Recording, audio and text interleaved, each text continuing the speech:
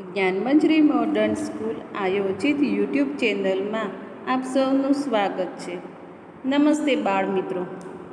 ધોરણ છ, વિષય સામાજિક વિજ્ઞાન, તારીખ છે સત્યાવીસ આઠ બે હજાર એકવીસ. સામાજિક વિજ્ઞાનની અંદર એકથી ચાર પાઠ, આ ઉપરાંત નવ અને દસ પાઠ પૂરા કર્યા પછી અગિયારમા પાઠમાં બે લેક્ચર આપણે જોયા. આજે છે લેક્ચર ત્રણ. પાઠનું નામ છે ભૂમિ સ્વરૂપો. ભૂમિ સ્વરૂપોની અંદર આપણે ભૂમિ સ્વરૂપના મુખ્ય પ્રકાર કેટલા છે તે વિશે વાત કરી. આ પ્રકારની અંદર જુઓ, પછી પર્વત. પર્વતોનું વર્ગીકરણ. એમાં ગેટ પર્વત જ્વારામુખી પર્વત અને ખંડ પર્વત.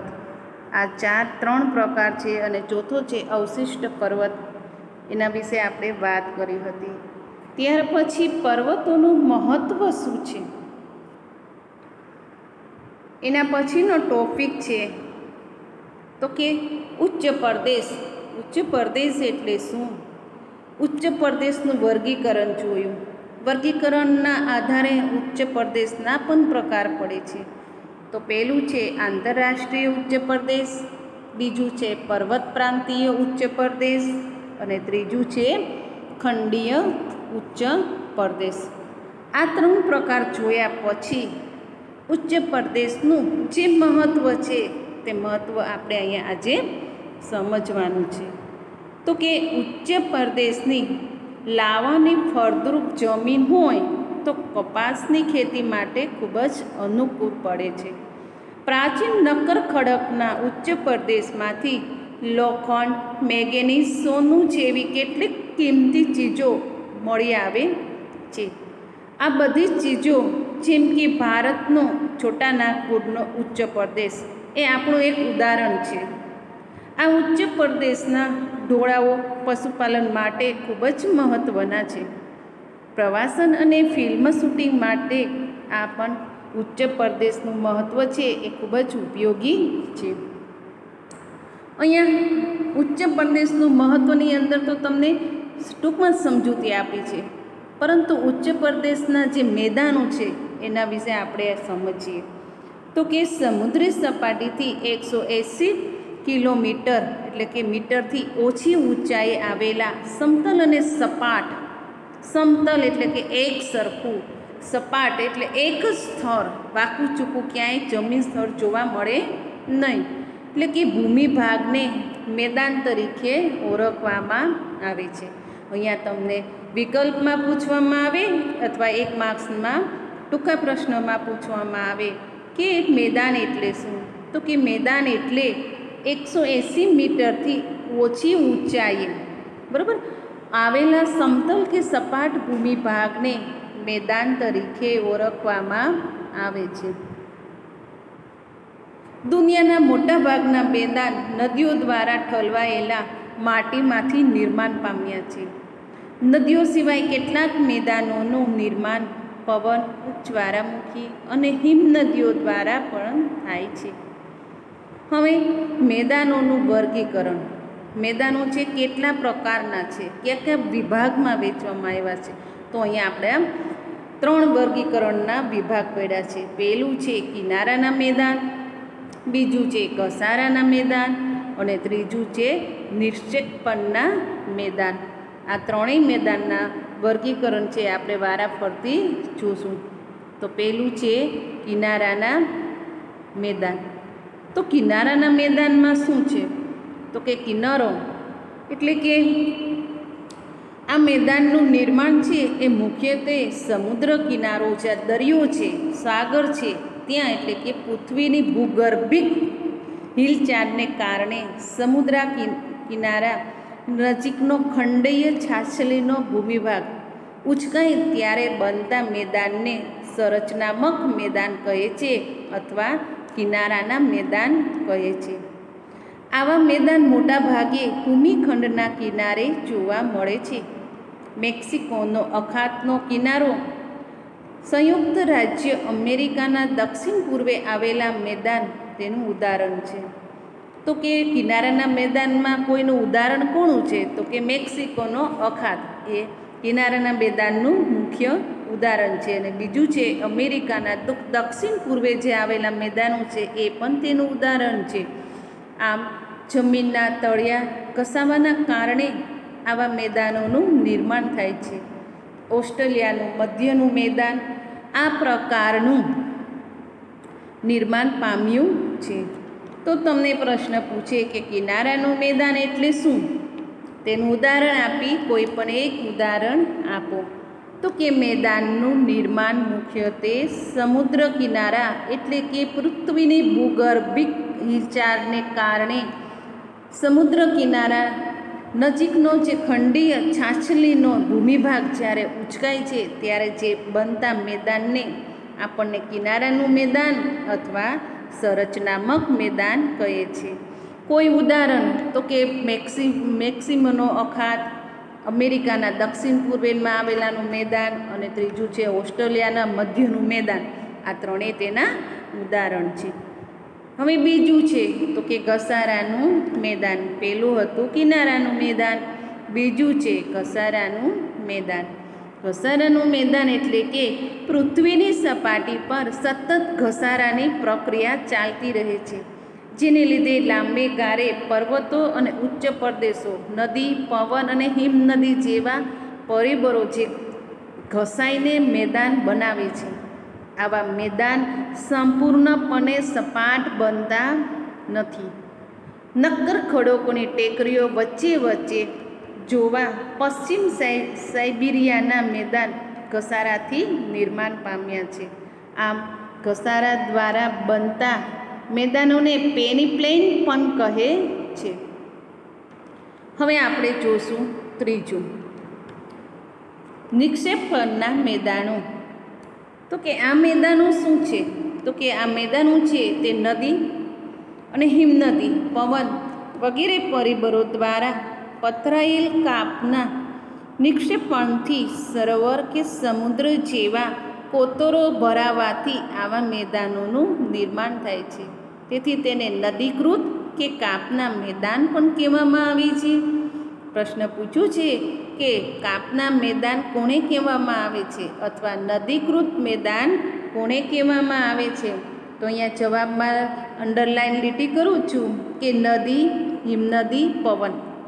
આ ત્રણેય દ્વારા જે પથરાયેલ, પવન દ્વારા ઉડીને જે કાપ આવે છે અને જે પથરાય છે તે સરોવર કે સમુદ્ર જેવા કોતરોની અંદર ભરાઈ જાય છે અને ભરાવાથી જે મેદાનનું નિર્માણ થાય છે તેને આપણે નદીકૃત અથવા કાપના મેદાન કહેવાય છે. તો ઉદાહરણ તરીકે જોઈએ તો કે ભારતમાં ગંગા યમુનાના મેદાન, ઉત્તર ચીનમાં હવાગહોનું મેદાન, ઇટાલીની અંદર જોઈએ તો પો નદી દ્વારા બનેલ લોંબાડીનું મેદાન કાપના મેદાનના વિશિષ્ટ દ્રષ્ટાંત છે. જ્યારે મેદાનોનું નિર્માણ સરોવરમાં કાપના નિરપેક્ષથી થાય છે. આમ તેને સરોવરનું મેદાન પણ કહેવામાં આવે છે. જો બધાના ભવ્ય ઉદાહરણ આપેલા છે, તો કે નિરપેક્ષનું પણ બે છે. નિરપેક્ષ શબ્દ અને બીજું જોઈએ તો એને સરોવરના મેદાન તરીકે પણ ઓળખવામાં આવે છે. આમ કશ્મીરની ખીણો ભારતમાં સરોવરના મેદાનનું ઉદાહરણ છે. હવે મેદાનોનું મહત્ત્વ ત્રણ મેદાન છે. આપણે જેમ પર્વતોનું મહત્ત્વ ઉચ્ચ પ્રદેશનું મહત્ત્વ સમજ્યા, એ જ રીતે મેદાનનું મહત્ત્વ પણ આપણે અહીંયા જોઈએ. તો કે મેદાન છે, પૃથ્વી ઉપર, જે પૃથ્વી ઉપર જમીન છે, જમીનમાં આ મેદાનો છે, એ મેદાનોનું મહત્ત્વ શું છે? તો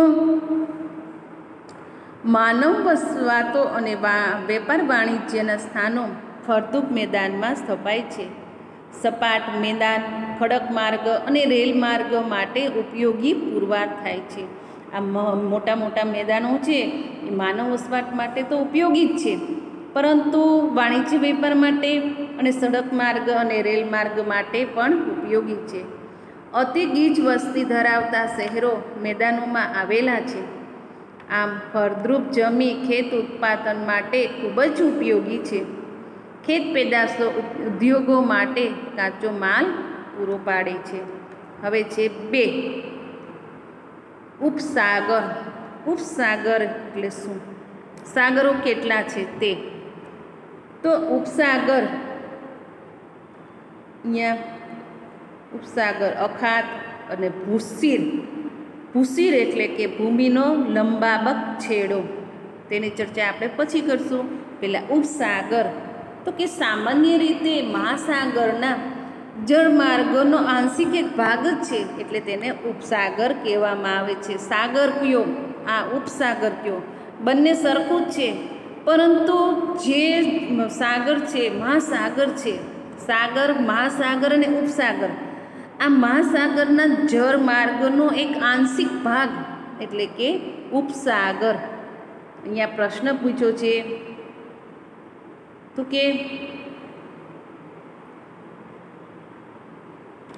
સામાન્ય રીતે મહાસાગરના જળમાર્ગનો આંશિક ભાગ એટલે ઉપસાગર, જે ફરતેની જમીનથી ખુલ્લી વિશાળ સરોવર જેવો આકાર આકાર ધારણ કરે છે. ઉપસાગરો વિશાળ અને નાના કદના હોઈ શકે છે. ભારતમાં બંગાળનો ઉપસાગર આ સર્વશ્રેષ્ઠ ઉદાહરણ છે. જો ઉપસાગર કેટલા છે? તો તમને ખબર જ છે કે ભારતમાં બંગાળનો ઉપસાગર કહેવાય. પછી હિન્દ મહાસાગર જ બોલાય. હિન્દનો ઉપસાગર આપણે બોલી શકતા નથી. પછી બંગાળનો ઉપસાગર જ કહેવાય. બંગાળનો સાગર એવું આપણે કહેતા નથી. તો કે ભારતમાં એક જ ઉપસાગર આવેલો છે. તો કે છે છે બંગાળનો ઉપસાગર. આપણે ભારતના ત્રણ છે, હિન્દ મહાસાગર, અખાતનો સાગર અને બંગાળનો ઉપસાગર. હવે અખાત અખાત શું છે? જ્યારે કોઈ જળ વિસ્તાર ત્રણ બાજુથી ભૂમિથી ઘેરાયેલો હોય, તેને આપણે અખાત કહેવાય છે. જો, કેટલા? ત્રણ ભાગો છે. ચાર ભાગો, એમાંથી ત્રણ ભાગ છે, એ શેનાથી ઘેરાયેલા હોય છે? જમીનથી. અને ચોથો ભાગ છે, એટલે કે પા ભાગ છે, એ પાણીથી ઘેરાયેલો હોય છે, તેને આપણે અખાત કહીએ છીએ. તો ગુજરાતની અંદર અખાત તમને ખબર જ છે ક્યાં આવેલો છે. તો કે જામનગરનો અખાત ઉદાહરણ આપણી પાસે આપેલો છે અને કચ્છનો અખાત. કચ્છનો અખાત અને જામનગરનો અખાત છે એ આપણું ઉદાહરણ છે ગુજરાતની અંદર અને સૌરાષ્ટ્રનું. હવે આવ્યું ભૂસીર ભૂસીર એટલે શું? તો કે ભૂસીર છે એ ભૂમિનો લંબાબક છેડો છે જળમાર્ગમાં ફેલાયેલો હોય છે. જો ભૂસીર એટલે કે ભૂમિ, ભૂમિનો એક જે લાંબો છેડો છે, તે જળમાર્ગમાં ફેલાયેલ હોય છે, જેને સમુદ્ર રેખા તરીકેની સંજ્ઞા પણ આપી શકાય છે.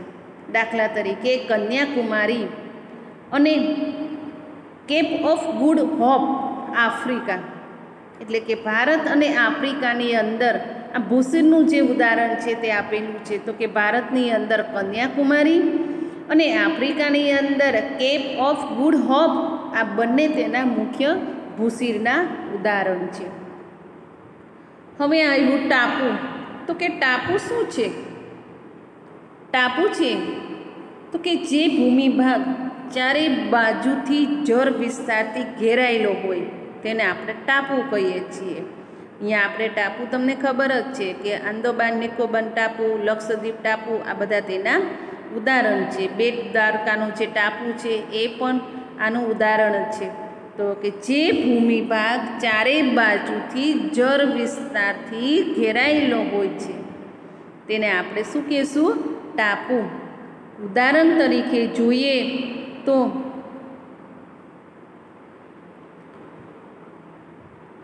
ચારે બાજુથી વિસરાયેલો હોય તેને ટાપુ કહેવાય છે. દાખલા તરીકે લક્ષદ્વીપ ટાપુ, અંદબાર નિકોબાર ટાપુ, શંખો દ્વાર એટલે કે બેટ દ્વારકાનો ટાપુ, પિરોટન, નરાબેટ, પિરમબેટ અને શિયાળબેટ. આ બધા ટાપુઓ આપણે ઉદાહરણ તરીકે જોઈએ છીએ.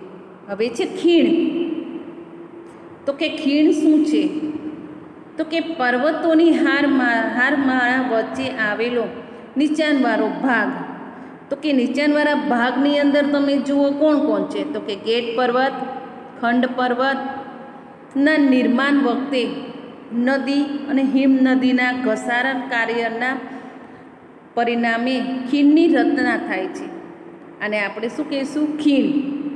અને દાખલા તરીકે કશ્મીરની જે ખીણ છે એ તેનું મુખ્ય ઉદાહરણ છે. એની પછી છે સામુદ્રી ધણી. સામુદ્ર ધૂની શું છે?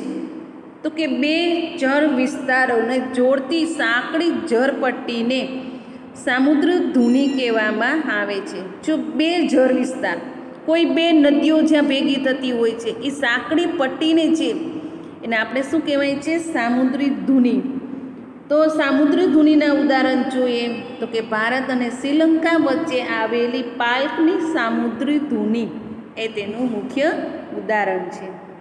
એનું પછીનું છે સંયોગી ભૂમિ. તો કે સંયોગી ભૂમિ શું છે?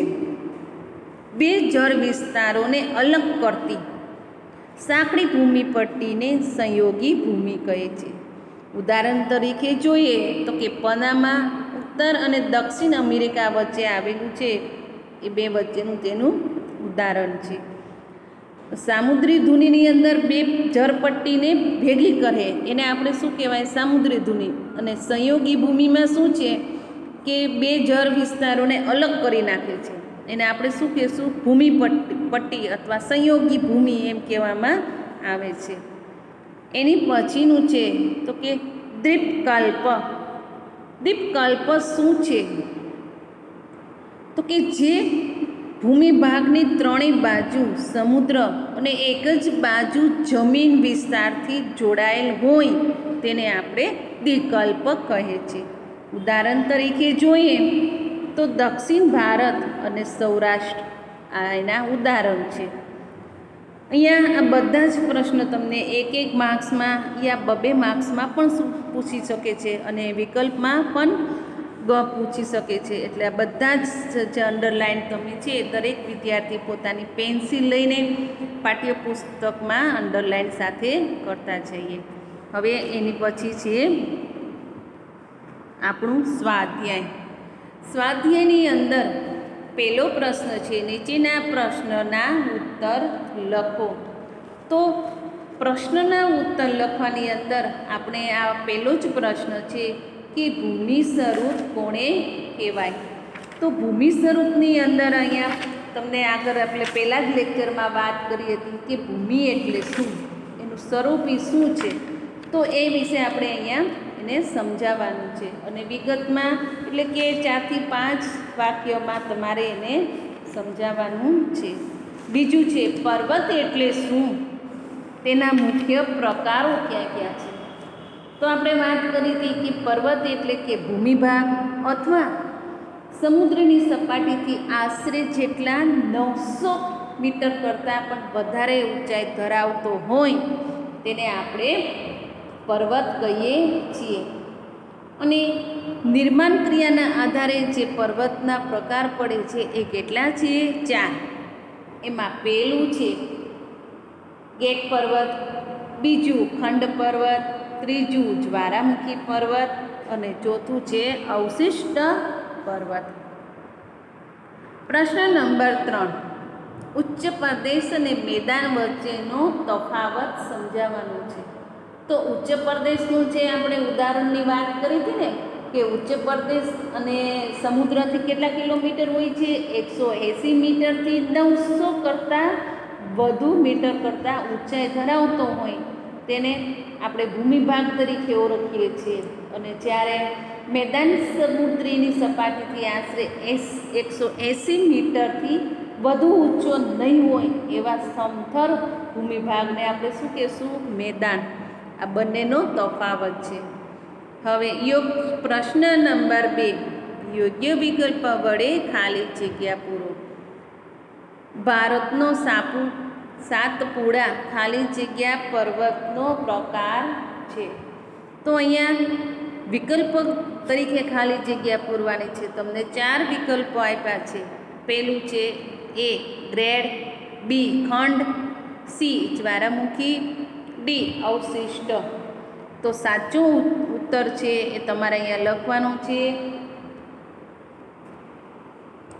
એનું પછીનું છે.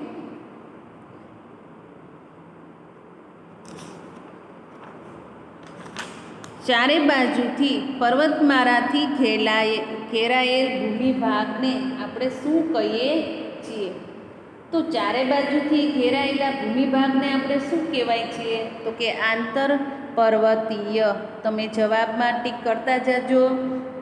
પહેલામાં છે ખંડ અને બીજામાં છે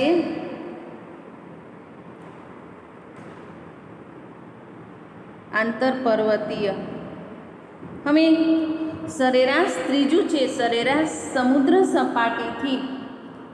ખાલી જગ્યા ઊંચાઈ ધરાવતા ભાગને સપાટ ભૂમિભાગને શું કહે છે અથવા કે મેદાન કહે છે? તો અહીંયા કેટલો આ કેટલામાં જવાબ છે? ચાર છે. એ બી સી ડી તો સાચું જવાબ છે તમારે આશરે એકસો એંસી કિલોમીટર. આશરે એકસો એંસી. કેટલું છે? ડી ચોથું છે, હવાંગહોનું મેદાન ખાલી જગ્યા. પ્રકારનું મેદાન છે. તો એની અંદર છે નિક્ષેપણ. શું આવશે? નિક્ષેપણ. હવે ત્રીજું, મને ઓળખી કાઢો. બરાબર? અહીંયા અહીંયા તમારા જવાબ છે, એક પછી એક. હું ત્રણેયથી બાજુથી ઘેરાયેલો છું. મારો છેડો જળભાગમાં અમુક વિસ્તાર સુધી ફેલાયો તો આ જવાબ છે એ હમણે જ આપણે છેલ્લા જ ફકરામાં બધા પાકા કર્યા છે. તો એ બધાના જવાબ છે એ તમારે જાતે જ કરવાના છે. ત્રીજું છે, હું ચારે બાજુએથી જળ વિસ્તારથી ઘેરાયેલો છું. ચોથું, હું બે જળ વિસ્તારને જોડું છું. પાંચમું છે, મારી ત્રણ બાજુ સમુદ્ર અને એક બાજુ જમીન છે. હવે પ્રશ્ન નંબર ચાર. ટૂંક નોંધ લખો.